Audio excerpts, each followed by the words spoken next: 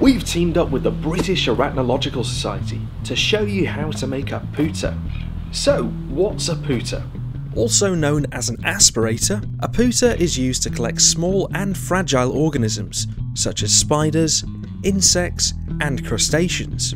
This is a common device used by arachnologists and entomologists in the field, and they come in a variety of shapes and designs.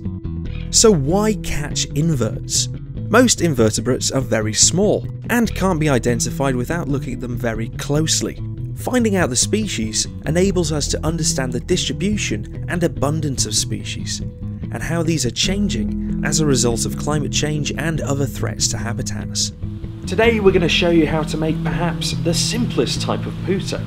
You'll need 30 to 40 centimeters of thin PVC tubing. You can purchase this PVC tubing from garden centres in the pond section. You'll also need 8 to 10 centimeters of wider tubing. It should be as clear as possible, so you can view what you catch later with a hand lens. You'll also need some electrical tape, old tights, and some scissors.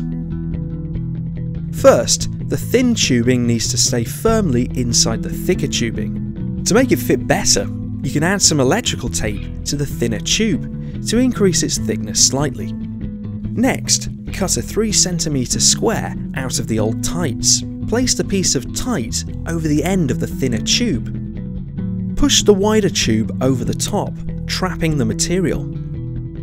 So that's the pooter made. How do we use it? Place the thin end in your mouth and the wider end next to the invertebrate you want to catch. Remember, the invertebrate has to be smaller than the wide end of the pooter. Suck, but not too hard, and the invertebrate will be sucked up into the wider end of the tube as far as the tight. Put your finger over the end before it escapes, and you can observe what you've caught. A hand lens is handy if you want to see a bit more detail. With a gentle blow, you can even transfer it into another container to have a look at later. That's all for EcoHow this week. We have an info pack with all the information you need from this episode in a link in the description. Catch you later.